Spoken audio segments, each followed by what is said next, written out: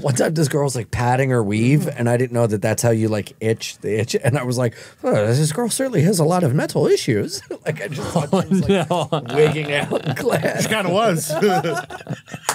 I mean, That's a great pun.